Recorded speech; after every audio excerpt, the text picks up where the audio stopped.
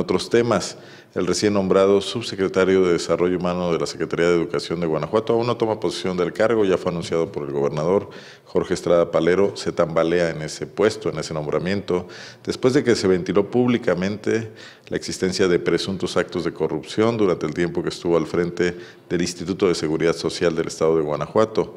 Ayer mismo Miguel Márquez Márquez insistió en que va a revisar la relación del exalcalde de Irapuato con la empresa alcoholera del centro, proveedora del Instituto de Seguridad Social del Estado de Guanajuato y beneficiada por este con contratos millonarios cuando Estrada Palero fue director. Después de su paso por esa dependencia, la empresa cedió el 49% de sus acciones a Marcela Estrada, hija de la ahora, bueno, ya no, ya ni tanto, de quien podría ser funcionario de la SEC, pero con un nombramiento que está en suspenso. Esto de acuerdo con una investigación realizada por el periódico local AM.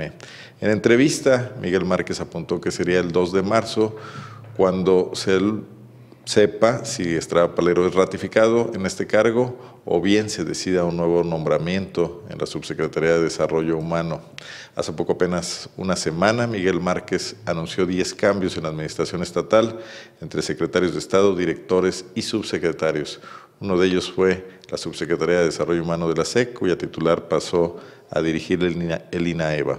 Las palabras de Miguel Márquez sobre este tema ayer.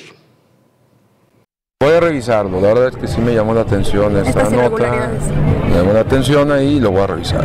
Pero está en su decisión de todos modos este, tenerlo ahí en la Secretaría. A ver, ello es muy claro, si hay algún interés que sea incompatible, sí, eh, para que pueda desempeñarse algún cargo, yo no tengo más que aplicar la ley. ¿No, tenía conocimiento de, alguna manera? ¿No tenía conocimiento usted de estas?